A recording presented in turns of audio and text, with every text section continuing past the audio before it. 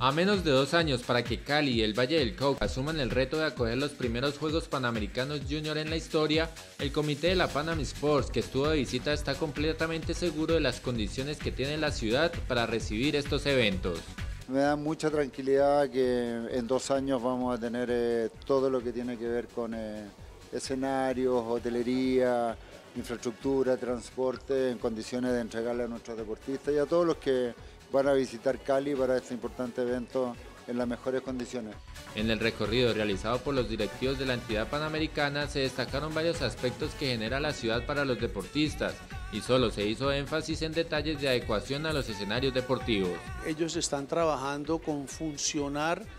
con lo que tenemos y hacer unos maquillajes, algunas pinturas, algún enlucimiento, mejora de baterías sanitarias, camerinos, entonces eso es básicamente lo que acá se ha visto. En los últimos detalles que faltan, todo va enfocado en el tema deportivo y se definió la fecha final de los Juegos para el mes de junio de 2021.